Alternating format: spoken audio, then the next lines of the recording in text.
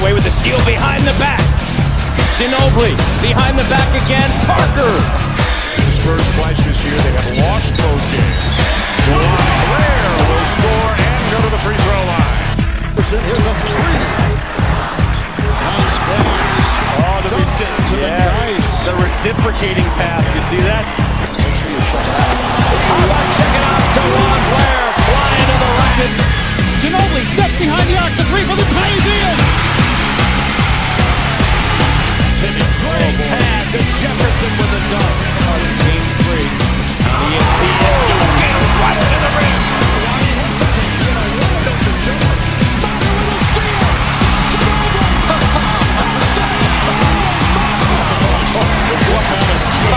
How with the okey doke under the And here's Butler, and it's blocked by Duncan.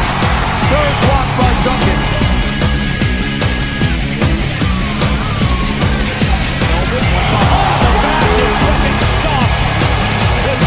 Bonner in there. Ginobili puts it through for the man. Have played the Spurs tough.